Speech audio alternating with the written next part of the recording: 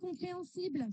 C'est incompréhensible. Je suis, madame, comment on peut, comment on peut se dire féministe et défendre une réforme des retraites qui va toucher les carrières hachées, qui va toucher les métiers les plus pénibles, qui sont associés aux professions féminines, qui sont pas reconnues, les femmes de ménage, les auxiliaires de vie qui ne pourront pas aller jusqu'à cet âge euh, de départ légal, qui vont partir avec des décotes. Et c'est bien le sujet de cette euh, réforme. Franchement, le procès en communication, il est malvenu. C'est vous, madame, qui êtes dans la communication en utilisant cet espace comme une tribune. C'est tout. Voilà, c'est vous qui êtes dans la communication. Moi, ça fait 35 ans que je bosse. Ça fait 35 ans que je travaille.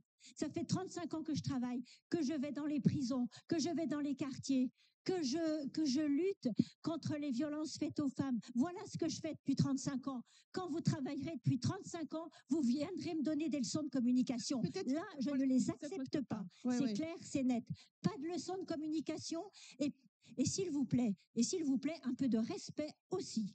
Parce que simplement, euh, simplement, je n'accepte aucunement ce procès en communication. S'il y en a bien un qu'on peut pas me faire, c'est celui-là. Donc franchement, je n'irai pas plus loin. Pour le reste, je pense que euh, pour le reste, on ne va pas reprendre tous les, on ne va pas reprendre tous les euh, tous les débats.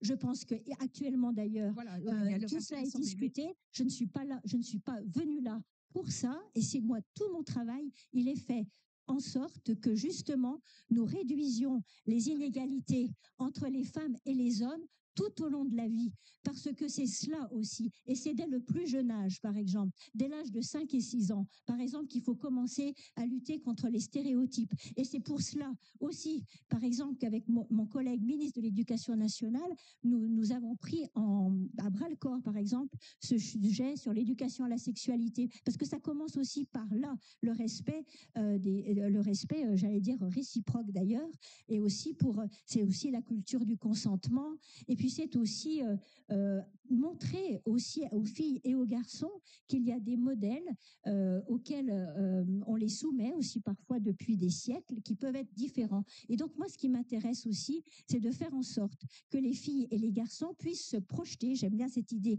du, du droit à la projection, puissent se projeter pour qu'ils puissent envisager leur avenir de manière la plus ouverte possible, la plus libre possible. Moi, je n'aime pas les idéologies, je me, je me bats contre les stéréotypes. Et donc, c'est cela aussi, c'est commencer dès le plus jeune âge à lutter contre cette société qui fabrique dès le plus jeune âge des inégalités. Et puis ensuite, c'est tout au long de la vie. Et c'est, je vous invite à lire ce plan. Il y a un QR code, 161 mesures pour lutter contre l'inégalité, les inégalités entre les femmes et les hommes. Je vous invite à lire et après on se donnera de nouveaux rendez-vous. Mais lisez, lisez, lisez aussi tout ce qui est fait concrètement avant de faire un procès en communication.